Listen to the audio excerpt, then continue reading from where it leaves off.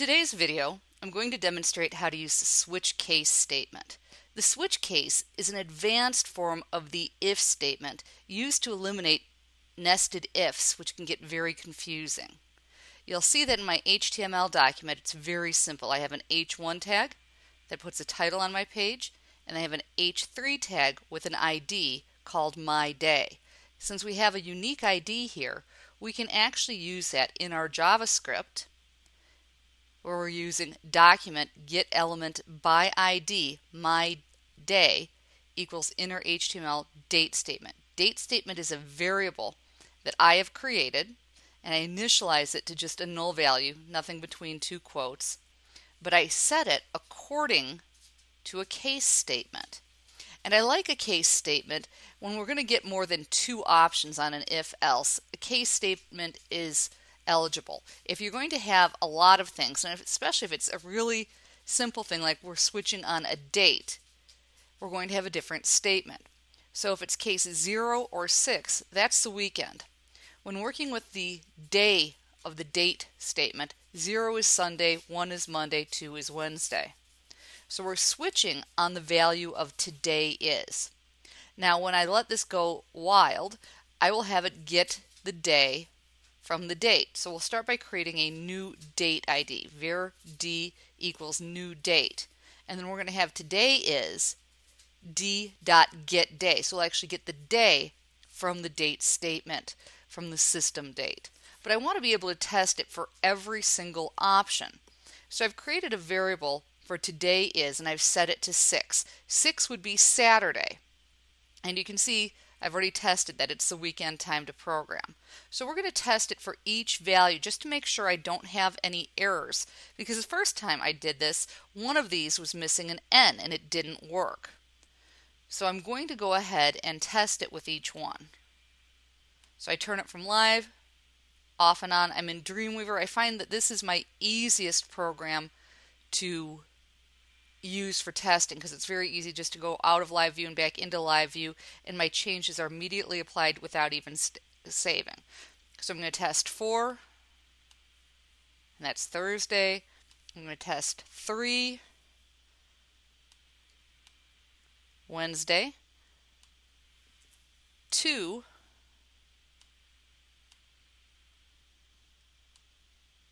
1 and 0. And remember, 0 is Sunday. Oops, and I have an error here. So let's see what's happening. I have case 0, and this should be case 0 or 6. And I'm getting the default. No one should ever see this one.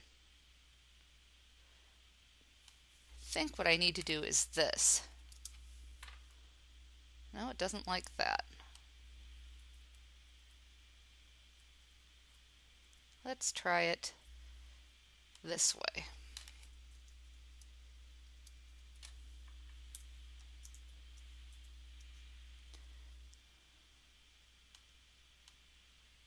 Okay, and I've seen it written both ways. This is what's being approved by my browser. Case 0, case 6, these both give me the same result. Now it's important to go through this switch case statement. It will just drop through and keep going until it hits a break. A break makes it leave the switch case statement.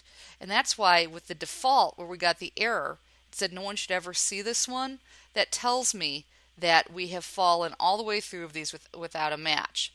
Now with case 0 and case 6, there's no break statement between these, and there's nothing happening if it's case 0. So case 0 is Sunday, case 6 is Saturday. In either of those cases, it's going to say, it's the weekend, time to program, woohoo because of course we all look forward to programming all weekend long. It's the light of our life. Actually, it's when I have time to work on these videos. So typically I am programming on weekends.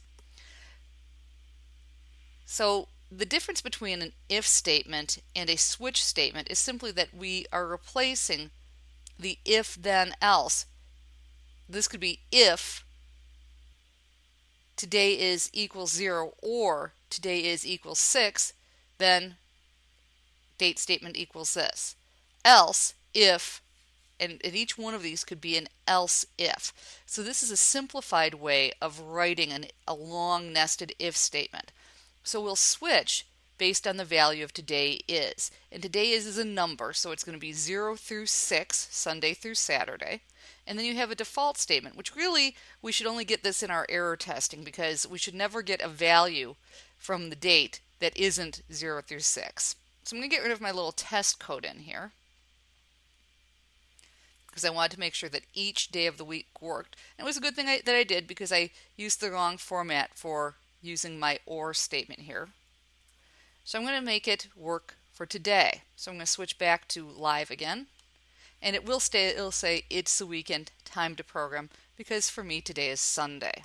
So that's a nice little function that will let you go through a lot of different options without having to do a bunch of if then statements. But don't forget, probably the most important thing here is to have a break in each case statement so it doesn't keep going. If I were to remove the break statement from today's grouping, watch what happens.